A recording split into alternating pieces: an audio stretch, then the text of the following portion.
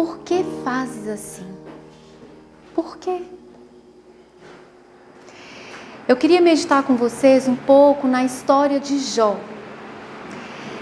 Jó, a, a coisa mais marcante na história de Jó, que a gente sempre para nessa história, é a questão de que Satanás, ele acusa Jó perante Deus e Jó recebe todas aquelas mazelas na vida dele, toda aquela dor, toda aquela tristeza sem culpa.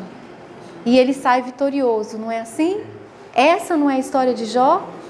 E a gente sabe, pelo espírito de profecia e também por outros é, é, autores como Andreessen, que Jó é um tipo dos 144 mil.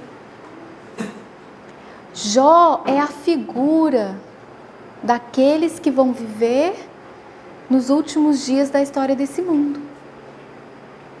Então, na realidade, todas as características da história de Jó são características muito importantes. E eu gostaria de falar de uma característica muito importante: os amigos de Jó. A gente conhece de toda a questão que Jó passou todos os sofrimentos, todas as angústias, todas as perdas que foram infligidos por Satanás. E os amigos de Jó também caracterizam aqueles que hão de viver nos últimos dias da história desse mundo. Mas por que fazes assim? Por que os amigos de Jó fizeram aquilo? Na Bíblia, a gente lê em Jó capítulo 2, verso 11 assim: Ouvindo, pois, os três amigos de Jó todo este mal que tinha vindo sobre ele, vieram cada um do seu lugar. Ele faz o temanita, e Bildade o suíta, e Zofar o naamatita. E fizeram o quê? E combinaram condoer-se dele para o consolarem. Olha, os amigos de Jó, de acordo com Jó 2, verso 11, eles tinham a intenção de consolar Jó. Eles falaram: olha, Jó está passando por uma dificuldade muito grande. Vamos combinar de ir até lá para consolar Jó? Foi isso que eles combinaram. Mas a gente sabe o fim da história, não é? A gente conhece bem a história de Jó. É uma história impressionante. Mas eles não consolaram Jó. Eles falharam no consolo. Eles falaram coisas para Jó que mais trouxeram mais dor ao coração de Jó do que um consolo. Esses amigos de Jó são tipo também daqueles que vão viver nos últimos dias da história dessa terra. Será que nós fazemos parte de qual grupo?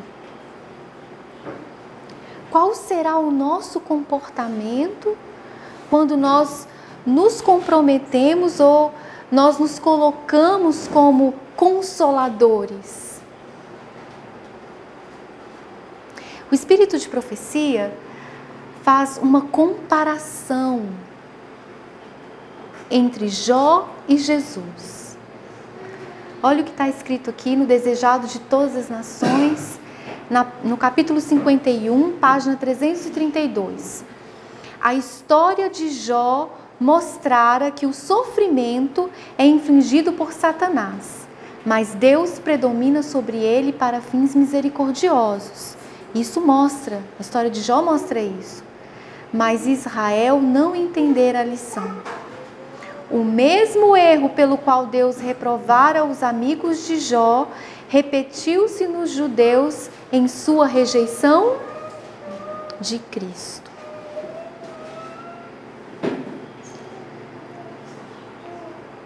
Qual o nosso exemplo? Não é Jesus? Nós não devemos ter um caráter semelhante ao de Cristo? Qual é então o caráter que Jó desenvolveu? O caráter semelhante ao de Cristo. E qual o caráter do, dos amigos de Jó? O mesmo caráter que os judeus desenvolveram quando rejeitaram Jesus. Então, queridos, isso quer dizer que as minhas palavras, a minha atitude diante do sofrimento de alguém, faz com que eu me posicione ou ao lado de Cristo ou ao lado de Satanás. Duro isso, não é? É estranho isso. Porque na realidade, a gente se considera consolador muitas vezes, quando as nossas palavras não consolam.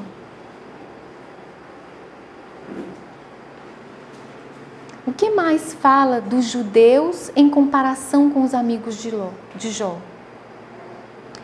Não compreendiam melhor o mistério da sua missão do que os amigos de Jó entendiam sua humilhação e sofrimento. Olha a comparação. O mesmo maltrato que o judeu fez com Cristo, na humilhação de Cristo, é comparado com aquelas palavras de desânimo, de reprovação, que os amigos de Jó fizeram quando ele estava no, no, maior, no maior ponto da aflição da alma dele. Eles não compreenderam. E Deus reprovou o comportamento deles. Eles não compreenderam a humilhação de Jó, assim como os judeus não compreenderam a humilhação de Cristo. Olha o que diz a respeito, mais a respeito dos judeus. Aqui a senhora White está falando de Isaías 53, verso 4 e 3.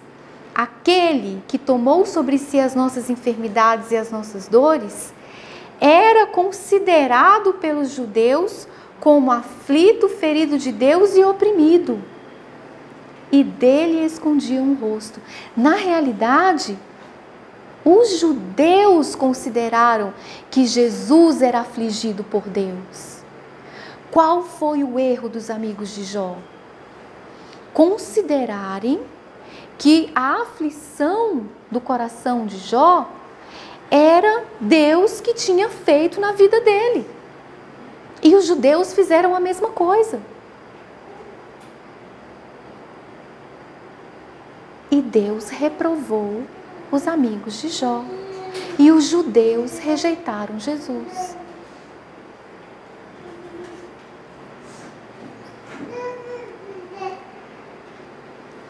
Qual o pensamento de Deus? Quando Jesus fazia um milagre, quando Jesus curava, era assim que Jesus queria que os discípulos pensassem. Os discípulos não eram chamados a discutir o fato de quem tinha ou não tinha pecado, mas a entender o poder e a misericórdia de Deus em dar vista ao cego. Em dar vista ao cego, em fazer o coxo andar, em curar o leproso. Os judeus estavam preocupados e os discípulos estavam preocupados se o pecado da pessoa ia ser perdoado. Que pecado que essa pessoa cometeu para ser cego? Que pecado que essa pessoa cometeu para estar nessa situação que ela está? Foi isso que os amigos de Jó fizeram. Que pecado você cometeu, Jó? Você deve estar fazendo alguma coisa errada. E afligiam, afligiam e afligiam o coração de Jó. Mas quando Jesus curava uma pessoa, os judeus faziam a mesma coisa e os discípulos perguntavam também: que pecado cometeu este para ser cego? Mas a intenção de Cristo não era desvendar o pecado do cego. Qual era o objetivo de Cristo? O que, que Jesus queria que os discípulos entendessem? Entender o poder e a misericórdia de Deus na vista daquela pessoa que estava sofrendo daquela mazela, daquela dor, daquela angústia. E nós o que fazemos? Quando nós vemos o sofrimento de alguém, o pecado de alguém, a angústia de alguém.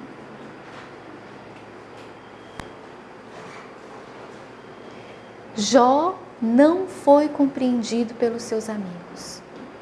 Não foi. Eles não entenderam, eles não compreenderam o sofrimento de Jó. E os discípulos também não compreenderam o sofrimento de Cristo. E os judeus também não compreenderam o sofrimento de Cristo. Nós somos muito prontos a julgar. Mas nos falta a sensibilidade de compreender a misericórdia e o amor de Deus para com as pessoas.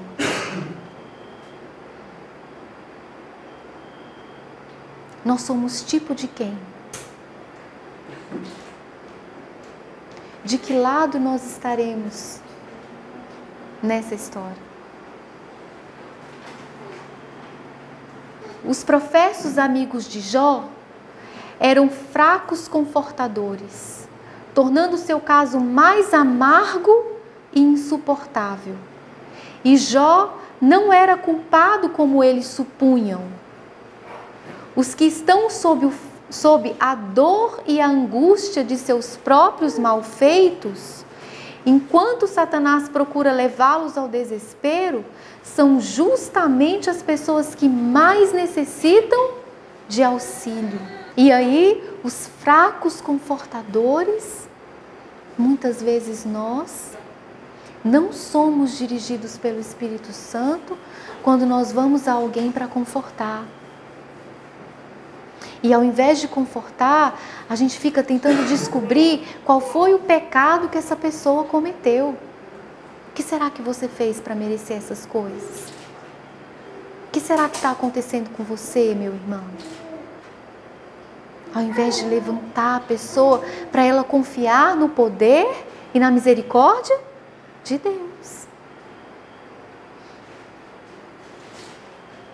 E segue.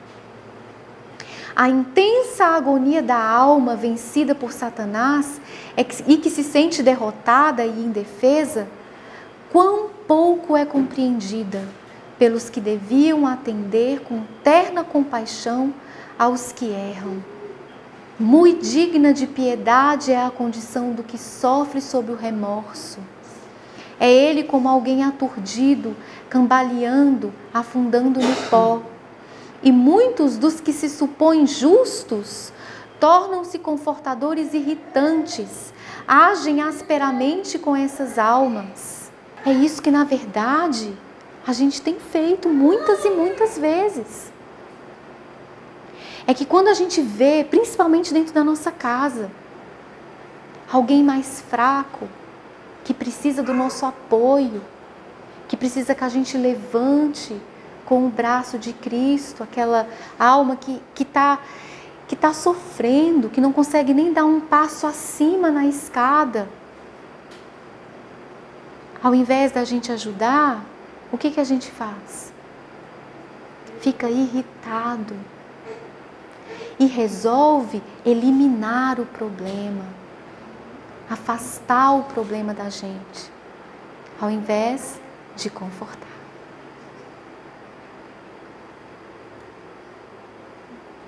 É isso muitas vezes que a gente faz. A gente reconhece o problema de alguém e ao invés da gente ajudar, a gente aponta. Mas olha o conselho de Deus. Ao manifestarem essa dureza de coração, ofendendo e oprimindo, estão fazendo a mesma obra que Satanás se deleita em fazer. Isso é muito sério.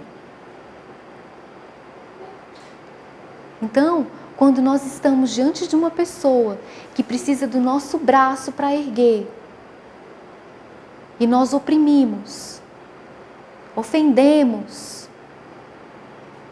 nós estamos fazendo o quê? A obra que Satanás se deleita em fazer. A alma provada e tentada não pode ver nada claramente. Só que a gente prefere não, não, não entender essa frase. A gente prefere entender que a pessoa faz tudo consciente e que ela quer fazer tudo errado mesmo e que eu não tenho nada a ver com isto e tira essa pessoa aqui do meu caminho. Nós preferimos fazer assim, mas como é que Jesus fez? O que, que Jesus fez com Maria Madalena, que já era a sétima vez que ela caía em pecado? Ele chamou Maria Madalena e disse: Não te condeno. E ele defendeu Maria Madalena na frente de todas aquelas pessoas que estavam acusando ela. Que, que Jesus fez com o cego de Jericó? Quando ele clamava: Jesus Cristo, filho de Davi, tem compaixão de mim.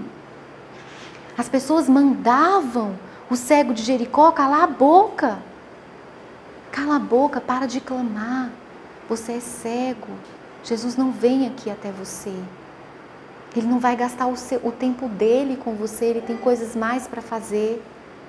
E o cego continuava a clamar. O que que Jesus fez?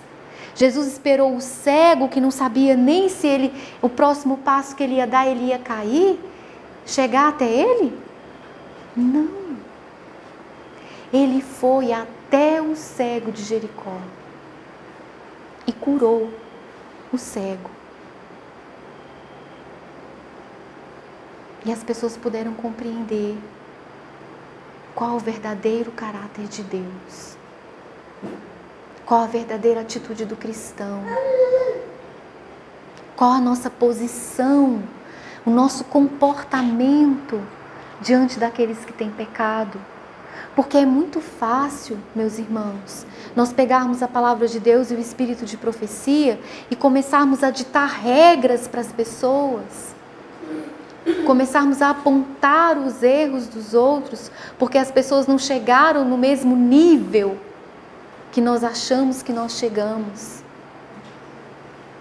Às vezes, nós ainda nem subimos o degrau da escada, a gente está no degrau mais baixo e está chamando as pessoas para subir um degrau acima, aonde a gente nem está ainda. Estamos irritando, condenando as pessoas que são preciosas aos olhos do Senhor.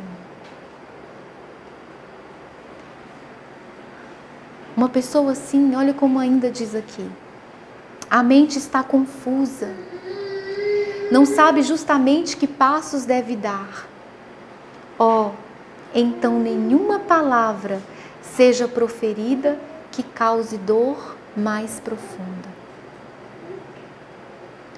Jesus quer que a gente aprenda a ser usado pelo Espírito Santo, porque Ele é o verdadeiro consolador que Jesus quer é que a gente consiga olhar para as pessoas, para o nosso irmão que erra, com os olhos de Cristo. É isso que Jesus quer. Os amigos de Jó falharam e nós não devemos ser como os amigos de Jó. E a senhora White teve um sonho ou uma visão ela não fala se foi sonho ou visão, mas ela diz assim: Assim me foi apresentada a questão. Um homem afundando, lutando em vão com as ondas, descobre um barco e, com as últimas forças que lhe restam, consegue alcançá-lo e se apega à sua borda Conseguiram imaginar essa cena? Um homem está afogando, ele está no mar e ele vê um barco e com as últimas forças dele ele consegue chegar e apoiar nas bordas desse barco. Tão fraco está que não pode falar. Mas a agonia estampada em seu rosto despertaria piedade em qualquer coração tocado de humana ternura. Mas entendem os ocupantes do barco, estendem os ocupantes do barco as mãos para o erguer e pôr dentro? Não. Todo o céu observa ao empurrarem esses homens as mãos fracas que se agarram. E um ser sofredor afunda sob as vagas para não mais se levantar. Tal cena tem se repetido vezes seguida, seguidas. Tem sido testemunhada por aquele que deu sua vida para resgatar justamente tais almas. O Senhor tem estendido sua própria mão para salvar. O próprio Senhor tem feito a obra que ele deixou para o homem fazer, no revelar a piedade e compaixão de Cristo para com os pecadores. Jesus disse: Um novo mandamento vos dou que vos ameis uns aos outros, como eu vos amei a vós, que também vós uns aos outros vos ameis. A cada um de nós revela o Calvário as profundezas desse amor. Que Jesus espera de nós. Que nós vamos empurrar a pessoa para ela afundar mais? Que eu vou com as minhas palavras acusar? Não. O que, que Jesus está fazendo? O trabalho que eu deveria fazer. Cristo é o nosso exemplo. E ele anseia com fremente desejo, não é isso que diz parábolas de Jesus? Cristo anseia com fremente desejo que o caráter dele seja revelado em nós para que ele volte. E se eu não observar as minhas pequenas atitudes, nas minhas palavras, na manifestação do meu espírito com o meu próximo, eu não estou fazendo o trabalho de Cristo. Eu estou acusando, ofendendo e irritando alguém que desesperadamente está agarrando ali, não é para me aborrecer, não, é para ser ajudado. Quando o homem finito e sujeito ao erro dá provas de se considerar de maior importância do que Deus, quando se julga justo, mas não manifesta, olha as características, a brandura de espírito que caracterizou a vida de nosso Senhor Jesus, podemos saber que, a não ser que se arrependa, o castiçal será imediatamente removido de seu lugar. Como que a gente deve agir diante de uma pessoa que está sofrendo ou que está pecando diante dos nossos olhos, que está nos aborrecendo até com a presença dela, nós devemos xingar, gritar, correr. Devemos agir como? Manifestar brandura de espírito que caracterizou a vida de nosso Senhor Jesus. Essa é a vontade de Deus. Aqui, a senhora não está dizendo para a gente ser conivente com o pecado de ninguém, para a gente abaixar a norma. Não é isso. O que Deus está dizendo para nós aqui é que nós não temos o direito de nos chamar cristãos quando nós estamos ofendendo, falando com, com grosseria com as pessoas que mais precisam de nós. O que Deus está dizendo para nós é que Ele espera que o nosso comportamento seja semelhante ao dele em todos os momentos. até quando aquela pessoa parece que vai atrapalhar todos os nossos planos. Mas é que Deus quer que você pare e você ame o seu próximo como Ele te ama. Porque para a gente chegar até aqui, queridos, a gente nadou muito. E Cristo estendeu o braço para nós, através de alguém. E a gente deve reconhecer isso, estendendo o nosso braço também. Todo o céu está atônito ante a terrível indiferença dos agentes humanos.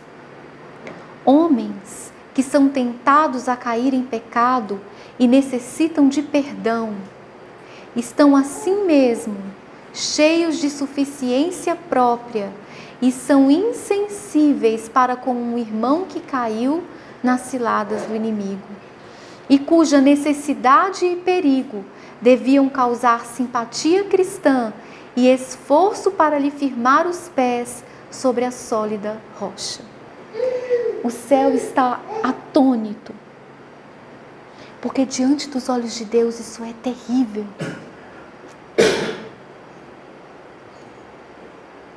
É terrível que a gente não tenha um olhar de compaixão e de amor por aquela pessoa que está ao nosso lado e precisa da nossa ajuda e a gente só fica impaciente com ela. E a gente só responde com grosseria. Essa pessoa precisava da nossa palavra de amor e de carinho e de compreensão, mas a gente espanta a pessoa do nosso lado a gente tira a oportunidade dela ser amada naquele momento e sai como se a gente fosse justo e nunca tivesse pecado. O céu está aterrorizado com isso. Porque essas pessoas se dizem justas. E elas praticamente estão tomando o lugar de Deus, julgando quem está salvo e quem está perdido. Sendo que o nosso amor poderia transformar tudo isso em uma bênção.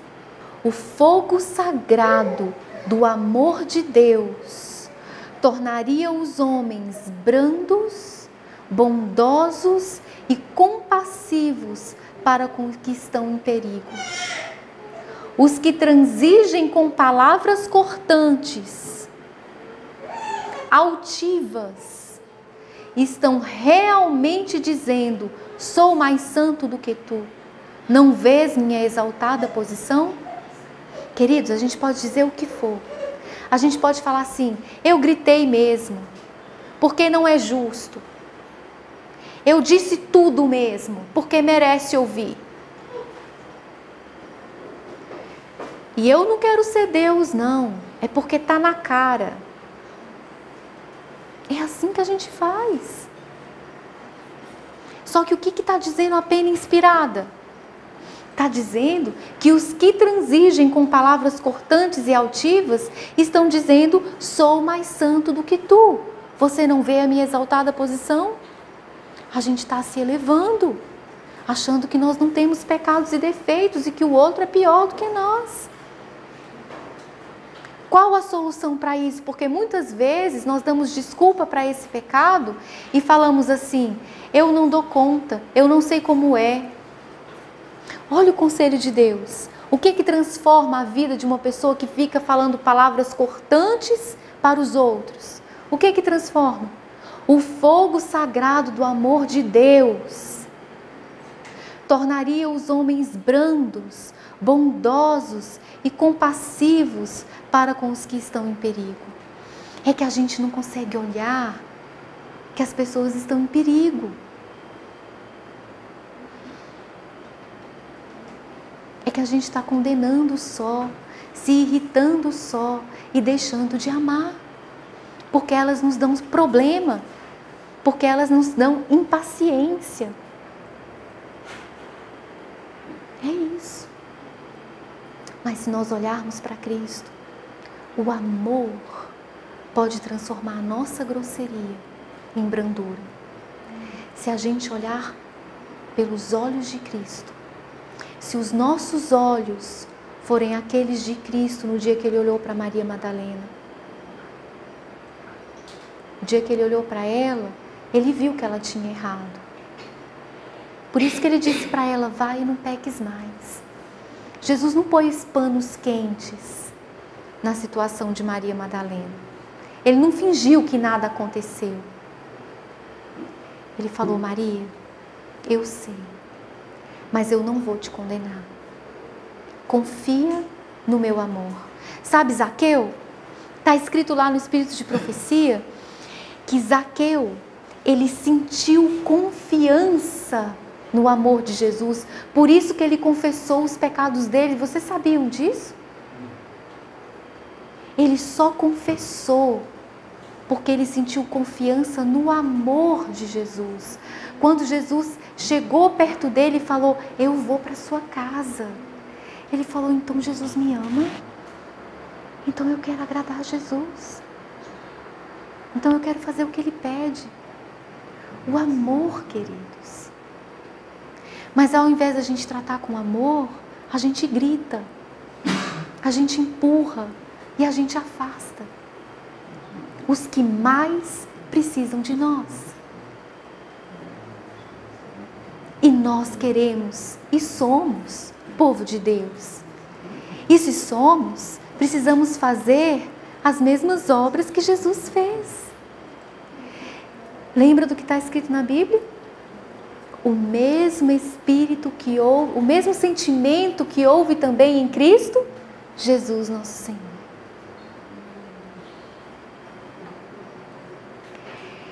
É essencial viver de toda a palavra de Deus.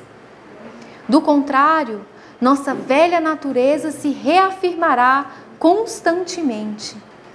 É o Espírito Santo a graça redentora da verdade na alma, que tornam os seguidores de Cristo um, uns com os outros e um com Deus. É o Espírito Santo. Através de quê? Da palavra de Deus. Se nós não firmarmos a nossa fé na palavra de Deus, se nós não crermos na palavra de Deus que disse para nós: faz desse jeito. Assim dá certo, assim é melhor. O que nós seremos? Nada. Não vamos vencer. E é o Espírito Santo trabalhando no nosso coração que vai mudar esse aspecto terrível do nosso comportamento. É o Espírito Santo, através da palavra de Deus, da fé naquilo que Jesus disse para nós fazermos, é que vai transformar o nosso coração à semelhança do coração de Cristo. E que vai fazer com que nós sejamos um com Cristo, um uns com os outros e um com Deus. Esse tem que ser o maior desejo do nosso coração. E para Jesus voltar, a gente precisa fazer isso. A gente precisa amar. Só Ele pode expelir a inimizade, a inveja e a incredulidade. Só Ele. Você tem raiva? Corre para Cristo. Tem inveja? Corre para Cristo. Trata mal? Corre para Cristo. Vai ver como Jesus tratava as pessoas. Se alguém ofendia Jesus, ele gritava com a pessoa? Não, não gritava. Quantas vezes os fariseus e os saduceus chegavam perto de Jesus só para ofender? E o que que Jesus fazia? Contava uma história. E deixava com que os fariseus e saduceus ficassem pensando. Mas o que nós fazemos quando alguém vem e lança uma palavra contra nós?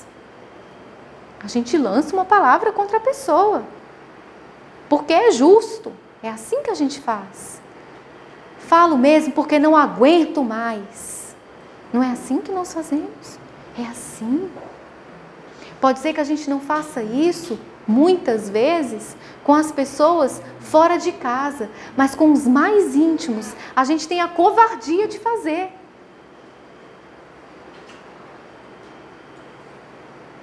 Sendo que essas pessoas são aquelas que mais deveriam ser achegadas a nós. E é isso que Deus espera de nós. Nós precisamos mudar, queridos. Ou então, o Espírito Santo não pode agir na minha alma. Eu preciso deixar que o Espírito Santo trabalhe na minha vida, para que esse fardo e esse peso de culpa seja lançado aos pés da cruz. É um poder divino, o Espírito Santo. Sob a influência, sobre a sua influência, há uma mudança de velhos hábitos, costumes e práticas que, quando acalentados, separam a alma de Deus. E a obra da santificação prossegue na alma, avançando e se ampliando constantemente. Como que eu faço para mudar? Pelo poder do Espírito Santo. Aonde está o poder? Na palavra de Deus. Aí está o poder.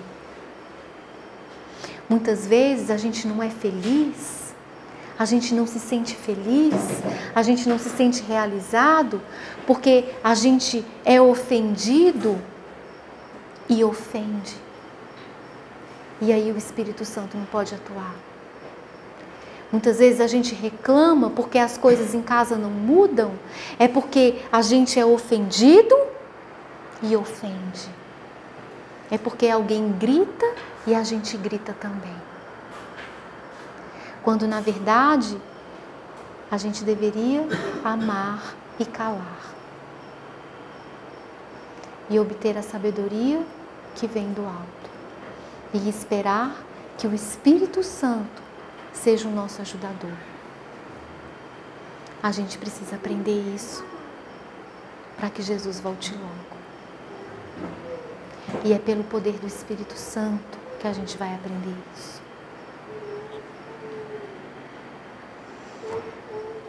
Queridos, quando tentados a murmurar, censurar e a condescender com a irritação, ofendendo os que se acham ao vosso redor, e deste modo ferindo a própria alma, que alma que é ferida? a nossa também, quando a gente ofende. Ó, oh, deixai que provenha de vossa alma a profunda, sincera e ansiosa indagação. Permanecereis sem culpa diante do trono de Deus? Só os irrepreensíveis estarão ali. A gente tem que pensar, queridos. Será que se eu falar desse jeito agora, eu vou permanecer sem culpa? Será que se eu gritar agora e me irritar e perder a paciência agora, eu vou ficar sem culpa? Só os irrepreensíveis estarão diante do trono de Deus a gente precisa mudar. A gente precisa deixar o Espírito Santo transformar esse caráter duro. Ninguém será trasladado para o céu enquanto seu coração estiver cheio do refúgio da terra. Primeiro tem de ser corrigido todo defeito do caráter moral removida toda mancha pelo sangue purificador de Cristo e vencidos todos os traços de caráter desagradáveis e repulsivos.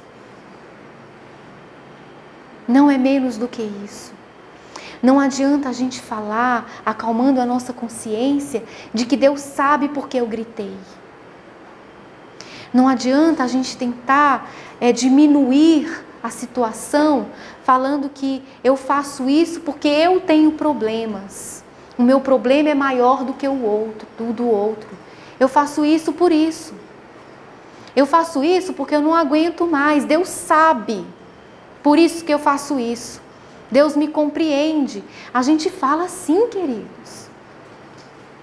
E não adianta a gente querer colocar panos quentes no nosso próprio comportamento. Está escrito aqui: todo defeito de caráter moral tem de ser abandonado. Nós não podemos agir dessa forma. A gente não pode desculpar um pecado que precisa ser abandonado, porque senão a gente não vai ver os olhos do Senhor. Nós não vamos dar conta de levantar nossos olhos para o céu e olhar nos olhos de Cristo. Não vamos dar conta, queridos. Nós precisamos tomar uma posição ao lado do Senhor. Através dos nossos atos, palavras e atitudes. permitirá você ser desbastado, modelado, polido por ele, para ser edificado sem o som de machado ou martelo? O que, que é que foi edificado sem o som de machado ou martelo? Não foi o templo? Você é templo de quem? Do Espírito. Você vai permitir nenhum golpe deve ser desferido após o fechamento do tempo da graça. Você deve agora, nas horas de graça, vencer seu temperamento impetuoso ou ser, afinal, separado de Deus. É categórico, queridos. Ou a gente vence o nosso mau temperamento, ou a gente vai ser separado de Deus. Enquanto eu estou falando aqui, o Espírito Santo está desferindo golpes na sua alma e na minha. O Espírito Santo ele está com um martelo polindo na sua mente. Ele está dizendo para você aonde que você precisa ser lapidado, você vai permitir que essa obra seja feita. Não lute contra o Espírito. Seja moldado, seja modelado, porque quando terminar a graça, nenhum golpe vai ser desferido mais. Está doendo agora?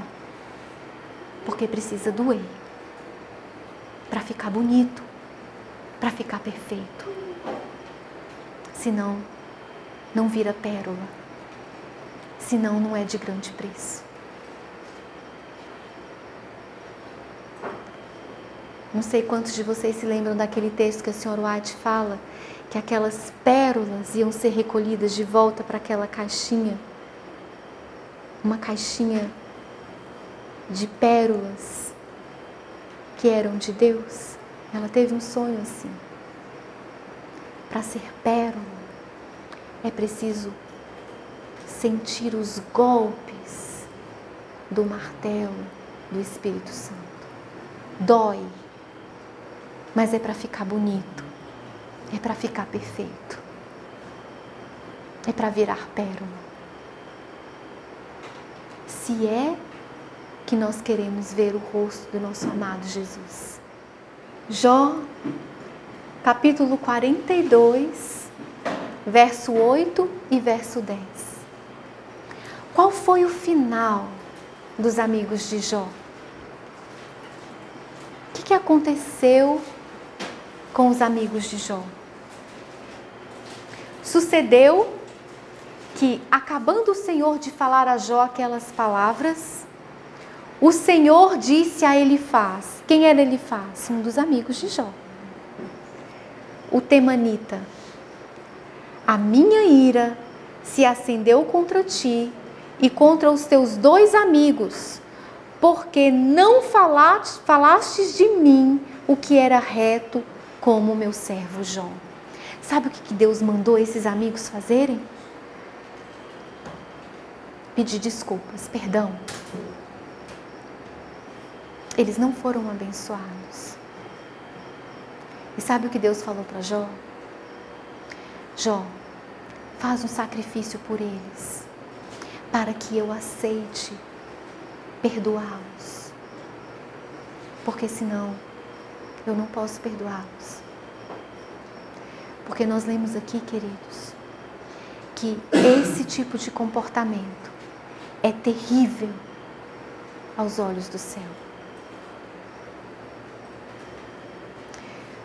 Mas quando a gente está do lado daqueles que, se, que querem ser tipo dos 144 mil, olha o que diz o verso 10. E o Senhor virou o cativeiro de Jó quando orava pelos seus amigos. E o Senhor acrescentou em dobro a tudo quanto Jó antes possuía. Qual é o resultado de orar por aqueles que nos ofendem? Deus vira as coisas. Deus vira as coisas. Muitas vezes a gente fica tentando ficar por cima, mas Deus é justo juiz, não nós. Se nós fizermos o que Deus nos pediu, orar pelos que vos perseguem e vos caluniam, deixar que o Espírito Santo tome conta do nosso coração e nós observarmos e contemplarmos o amor de Deus, então nós vamos ter um coração brando, palavras brandas, como diz Provérbios, como maçãs de ouro em salvas de prata, assim é a palavra dita ao seu tempo.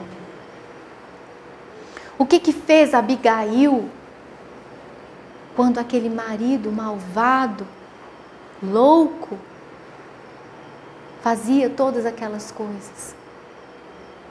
Ela desrespeitava Nabal? Não, não é isso que o relato bíblico diz, não. Quando ela viu Nabal bêbado, fazendo tudo que ele estava fazendo de maldade, falando tudo que ele estava falando, ela se calou e disse: Não, eu não vou conversar com ele agora, deixa para amanhã. Ela não podia ter chegado lá e ter dito poucas e boas e todas as verdades que Nabal precisava ouvir? Mas Deus virou o cativeiro de Abigail, transformou ela numa rainha.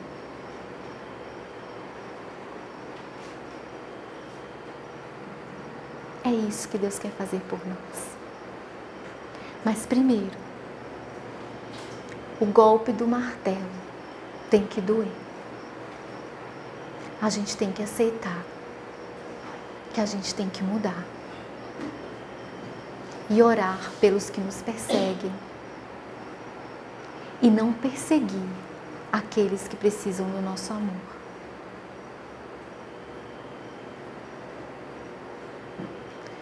A minha oração por mim e por todos nós. É que, que ainda nós estamos com o pé nessa terra. E todas as nossas atitudes são baseadas na nossa escolha. Eu escolho o que eu vou falar. Eu escolho de que lado eu quero estar. E eu preciso escolher estar ao lado de Jesus, em palavras, pensamentos e atitudes que nós possamos orar por isso, suplicar força do trono de Deus, pedindo o Espírito Santo para, para nos ajudar a sermos templo de Deus e amarmos uns aos outros como Ele nos amou. Amém? Amém. Que Deus seja louvado. Então, Pai querido, Santo Deus, nós estamos na Tua presença porque miseráveis somos diante dos teus olhos.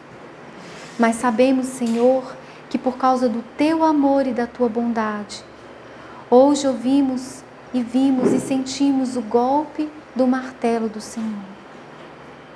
Por favor, Senhor, que todas as palavras, todas as atitudes erradas que temos feito, que o Senhor possa nos perdoar Que o Senhor possa limpar a nossa mente de toda irritação, toda mágoa, todo rancor, toda inveja, todas as ruins suspeitas, para que nós possamos olhar o nosso próximo com os teus olhos.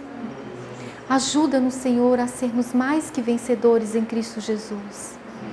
Ajuda-nos a experimentarmos do teu amor e da tua graça. Ajuda-nos a sermos pérolas nos tesouros do Senhor. Pai querido, por favor, que a unção do Espírito nos acompanhe enquanto nós voltamos para casa. Que os santos anjos possam continuar trabalhando por nós e o teu Espírito possa continuar insistindo conosco, nos convencendo do nosso pecado, da justiça e do juízo e nos mostrando o amor de Cristo Jesus por nós. Dá-nos a tua paz, querido Deus. Nós te pedimos em nome de Jesus. Amém.